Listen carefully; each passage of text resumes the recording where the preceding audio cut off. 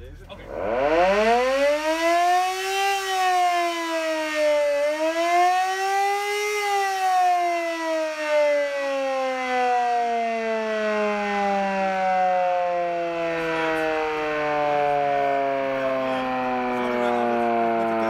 versta er niks van. Goed, kom ik mee.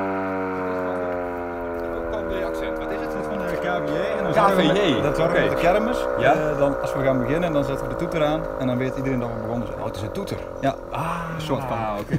KVJ. Ja, jullie beschikken het dialect hier ook, hè? Het Ja. Ja, zeker. Ja, ik denk dat die toeter alle stuk heeft gemaakt. Die, die heb je nog gehoord, toch? Het was een toeter. Ja, oké. Ja, Vivian, eh, jij gaat eh, de opdracht voorlezen. Ik ga Ja. toch niet in het gras liggen, want ik ga de verbinding proberen te herstellen. Ze moeten allemaal hard aan het werk. Maar wat gaan jullie doen? Lees het maar voor. Oké.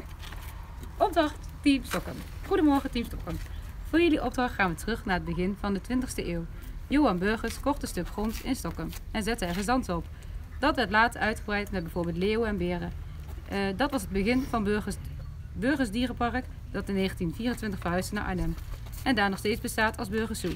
Vanavond laten we je zien hoe Burgers Dierenpark eruit zou hebben gezien als het nog in Stockholm was geweest. We zien verder dat er een schutter vanuit, van de schutterij vanuit de uitkijktoren het Hulzenbergse bos in gaat. Naar het dierenpark kijkt, sorry. Vanuit het Hulzenbergse bos naar het dierenpark kijkt. In het publiek zien we dieren uit de dierentuin en schuttershoedje.